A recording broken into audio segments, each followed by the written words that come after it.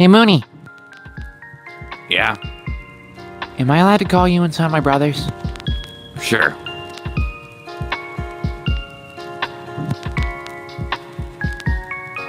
Bye, brother.